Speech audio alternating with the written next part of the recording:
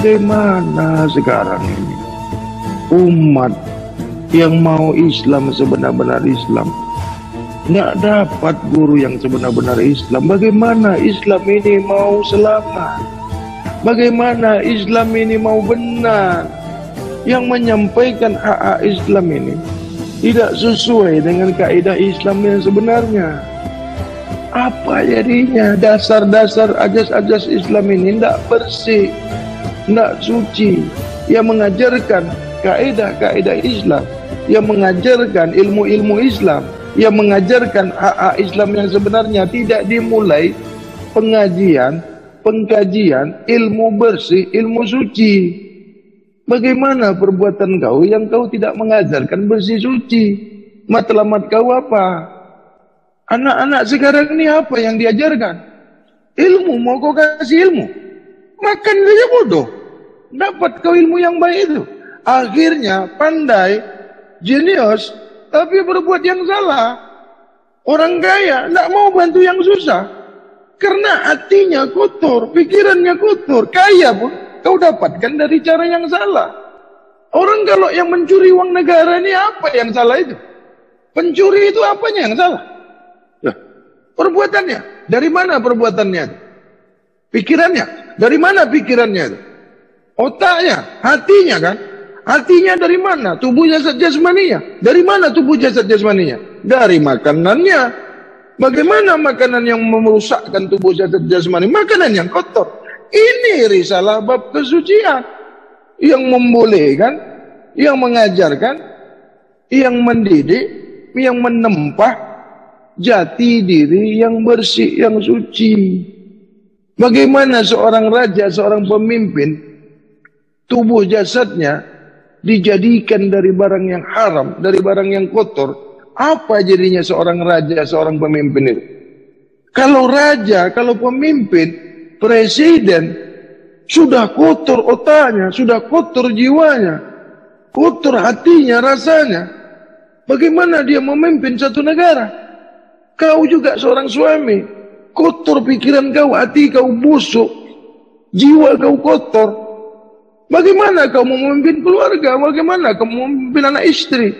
Akhirnya jadi keluarga yang berjelaru. Begitu juga presiden, raja, perdana menteri, bahkan menteri-menteri yang duduk di pemerintahan. Otaknya kotor, jiwanya kotor, perbuatannya kotor, terlebih lagi makanannya kotor, haram. Bagaimana dia menduduki jawatan yang baik? Tentu dia mengotori perbuatannya, mengotori jawatannya. Ini kan yang merusak negara. Kalau negara sudah rusak, rakyat bagaimana? Ya rusak semua. Guru-guru bagaimana? Habis uang negara dicurinya. Itu kan karena otaknya kotor, pikirannya kotor.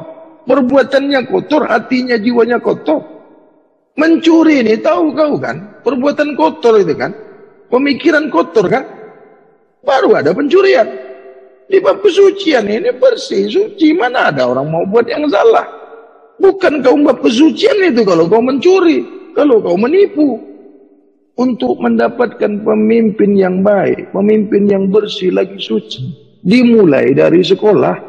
Dimulai dari bawah. Bermula dari darjah. Bermula dari awal yang bersih. Sekolah darjah, sekolah rendah yang bersih, suci sekolah tingkatan bersih yang suci, sekolah university yang bersih yang suci. Barulah menduduki jawatan yang bersih suci, barulah dia kerja bersih suci. Bagus kan pejabat-pejabat awam nih yang mau menduduki jawatan-jawatan awam nih. Bagaimana kalau sebuah menteri belajar bab kesucian? Hah? Hah? Ada korupsi. Ada penyalahgunaan jawatan. Ada pencuri uang negara. Hah? Sebab sudah dididik bersih suci, pikiran bersih suci, perbuatan bersih suci. Jujur itu kan perkataan yang bersih. Setiap yang mau menjadi menteri harus wajib belajar bab bersih, bab suci.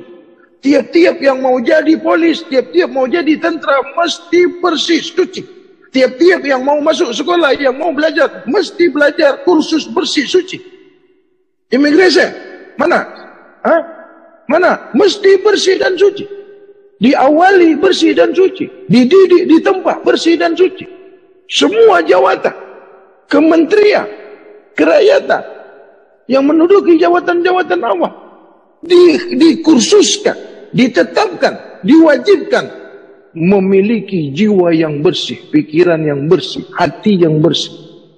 Bagaimana? Imam di masjid bersih suci. Meniaga bersih suci. Kejujuran itu kan bersih suci. Bernegara bersih suci. Menjadi rakyat bersih suci. Pelayanan awam bersih suci. Mau menikah mesti kau kursus bab bersih bab suci. Karena kau menghendaki anak yang baik, menghendaki maukan anak yang soleh. Mesti kau kursus, mesti kau belajar bab bersih bab suci. Guru-guru sekolah, guru-guru tingkatan, guru-guru di universitas mesti diawali ilmu bersih suci. Bagaimana ini? Bagaimana ini negara ini? Ada lagi pencuri, ada lagi penjenayah, ada lagi perompak, ada lagi kes ini, kes itu ada. Semua raja bersih suci, semua rakyat bersih suci. Barulah negeri makmur, rakyat sejahtera. Barulah kesetaraan, barulah ada strata hidup bernegara. Ini kan yang mau yang dimaukan. Sekarang mana yang sekolah dimulakan bersih suci di mana? Mana university? Diawali bersih suci. Ada polis itu dulu belajar bersih suci. Ada tentara belajar dulu bersih suci. Menterinya ada dikursuskan bersih suci. Yang mau menikah, yang mau kawin, ada kursus bersih suci. Tuh nikahnya pun tak bersih, tak suci. Makan semua yang kotor. Pejabat-pejabat itu semuanya kotor semua. Menteri-menterinya otaknya semua kotor. Bahkan Perdana Menterinya pun menghabiskan duit negara. Pencuri semua. Itu kan karena kekotoran akal, kekotoran otak, kekotoran jiwa, kekotoran hati. Mana guru sekarang ini mengajarkan yang baik, maksudnya yang bersih. Kenapa kau tak letakkan di masjid itu bab kesucian? Kenapa kau tak masukkan ulama-ulama yang bersih, yang suci? Kenapa kau tak letakkan jawatan-jawatan yang menduduki jawatan awam ini? Yang menduduki jawatan yang strategik untuk membaikkan rakyat? Kenapa guru-gurunya tidak dikursuskan bab suci, bab bersih? Kenapa? Karena pejabatnya juga, karena pemimpinnya juga kotor. Kalau pemimpin yang bersih suci, maukan orang yang menduduki jawatan yang bersih, yang yang bersih, yang suci lah. Karena pemimpinnya bersih suci. Bagaimana mau mendapatkan pemimpin yang bersih yang suci? Kalau awalnya azasnya dimulakannya, wakil rakyatnya berjelaru, wakil rakyatnya makan yang kotor, semua dimakan. Apa jadinya? Yang memilih perdana menteri siapa? Wakil rakyat kan? Yang memilih wakil rakyat, rakyat. Nah, kalau rakyatnya sudah makan yang kotor, yang dipilihnya pun jawatan atau yang menduduki jawatan yang kotor juga. Menteri itu yang memilihnya siapa? Presiden, presiden, presiden. Siapa? Wakil rakyat kan? Apa itu namanya itu? DP, DPR. Ah, Dewan itu. Ah, yang memilihnya kan rakyat. Jadi kalau rakyatnya sudah kotor otaknya, kotor pikirannya, yang dipilihnya yang kotor ke tidak? Ah, siapa yang duduk di jawatan itu? Yang kotor juga lah. Akhirnya bagaimana? Pencuri, korupsi, menyalahgunakan jawatan, kedudukannya di, dijualnya, hukum dibeli, yang salah jadi betul, yang betul jadi salah, kan ini yang terjadi.